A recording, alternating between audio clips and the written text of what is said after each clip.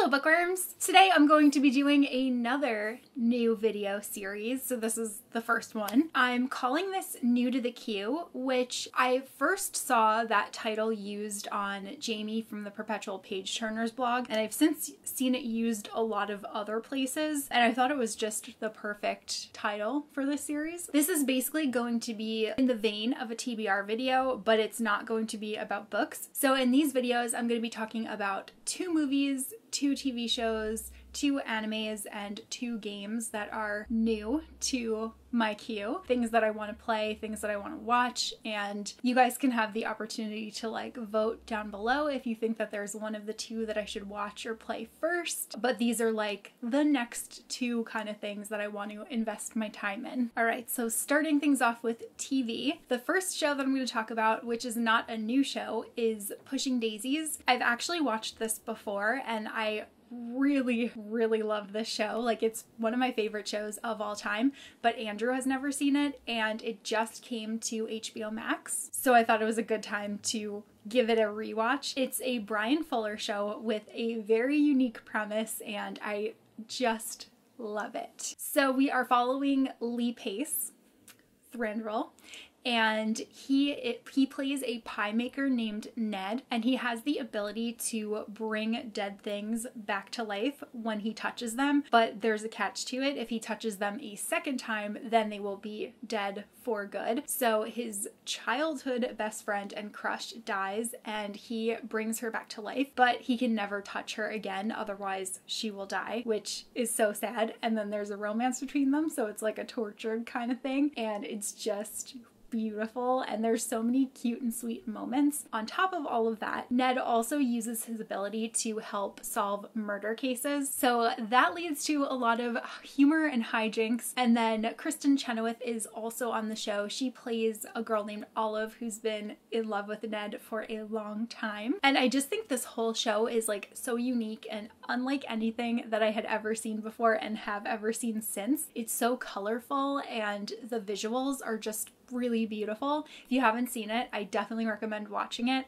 I'm so excited to give this one a rewatch. And then the other show that I recently added to our queue is The Great, which is a show that you can watch on Hulu. I want to say it came out in like May of last year, and it's loosely based on the story of Catherine the Great. Catherine is played by Elle Fanning, and then we are also following Emperor Peter III, who's played by Nicholas Hoult, who I loved from Warm Bodies and Skins, and it focuses on Catherine the Great's plot to kill her husband. So, from what I've heard, it definitely takes a lot of liberties when it comes to Russian history, but it's supposedly very comedic. And from what I've seen, the costumes look really beautiful. I know that this one got renewed for a second season, and I really want to catch up and watch the first one before the second one ends up coming out, and then I'm really far behind. Then, moving on to movies, the first movie that I'm going to talk about, which is one that is also on HBO Max, is The Earwig and the Witch. This is the newest Studio Ghibli film, and it's the first of their films that is fully 3D CGI animation, so it's completely different than anything they've ever put out before. Part of like why I love Studio Ghibli so much is because I find their animation to be so beautiful,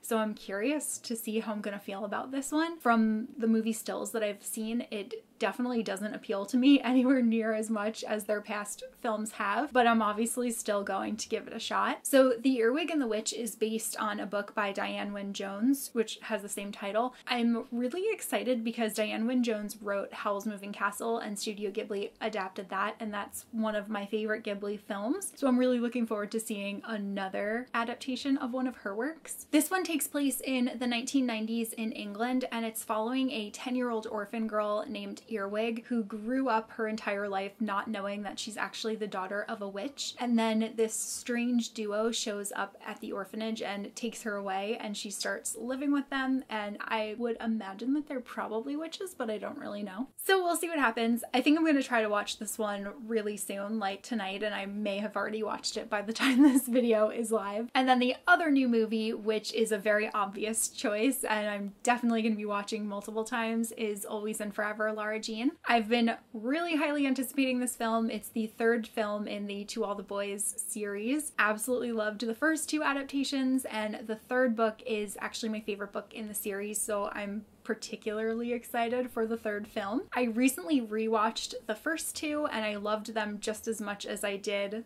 the first you know, 10 times that I saw each of them. And this one I'm planning on watching virtually with Alexa and Rachel. In the past, we've always had like little parties at my apartment and we've gone all out getting food and like baked goods and we usually dress in like a certain color scheme and we get decorations for my apartment but obviously that's not something that we can do this year so we're going to be doing it virtually and we decided to have like a virtual pajama party and we all got new like cute Lara approved pajamas so it should be fun. We're going to watch it and then we're all going to chat about it together. I think what I'm most excited about for this one is to see the whole cast in New York City because I love New York City, obviously, and that was like part of why I loved the book so much was the field trip to New York. And I'm also really excited because it seems like we're going to get a little bit more Margot in this film, and I also really want to see if Jenny Han will have another cameo. Then moving on to anime, so this is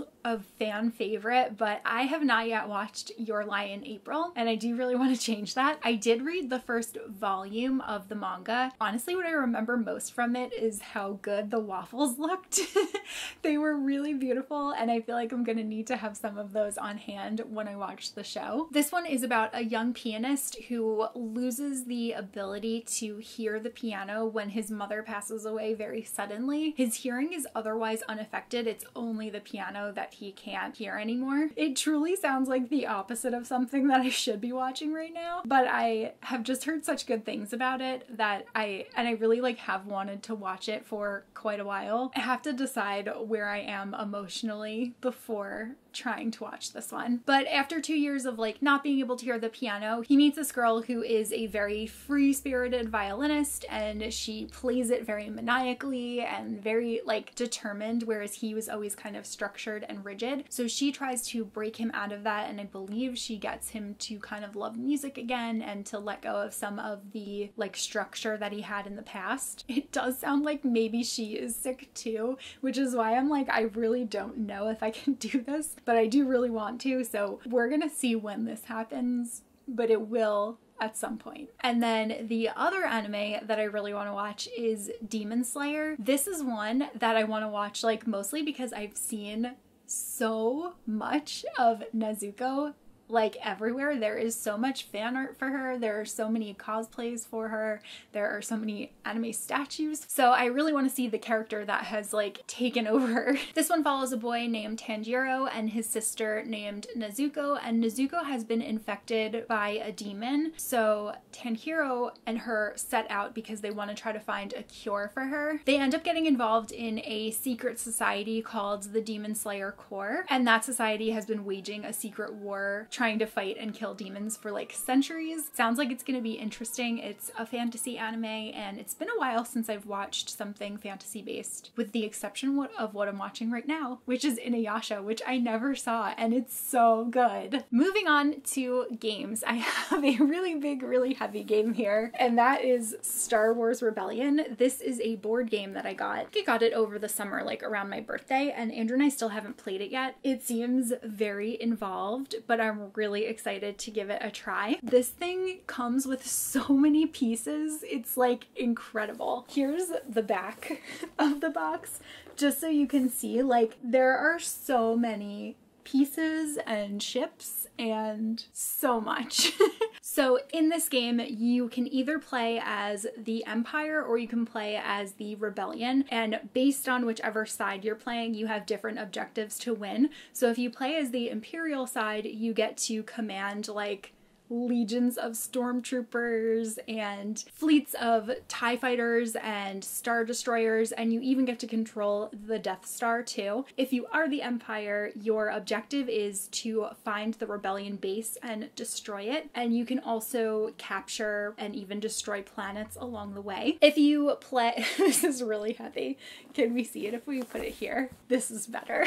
this is better for everyone. So if you play as the Empire, you have a major advantage in the power department. And then if you play as the rebellion, you have much less that you can control. You only have like a couple of troopers. You have some T-47 airspeeders. You have some Corellian corvettes and you have a couple of squadrons that you're responsible for. And if you are the rebellion, your goal is to try to convince other planets in the galaxy that the Empire is bad. You want to get them to join with you and launch a full scale revolt. You definitely have a disadvantage because you don't have as much to control. The strategy, I believe, as for playing as the rebellion is that you want to do targeted military attacks, and that way you'll be able to steal intelligence from the Empire, and that will help you, I guess, convince other people to join your cause. There are a couple of expansions to this game, and if we end up liking the base game, I think we'll definitely invest in some of them. This is definitely a much much pricier board game than I've ever really purchased before. It was like, I think I got it on Amazon and it was like $86, so that was even discounted. But there are over 150 pieces that this comes with, and it's supposed to be a great game for two to four players. And I've actually listened to reviews saying that it is a really good game for just two players. So that was really appealing because obviously who's having board game nights these days? Not us. let's see, let's like open it actually. The worst part of new board games is all of the things that you have to punch out before you can actually play. I think there are actually two boards. So like each player gets their own board. And then like, look, like this entire thing is pieces. There are so many ships in here. There's also really cool dice. I'm assuming these are stands for some of the, the ships. And then there are a bunch of little cards.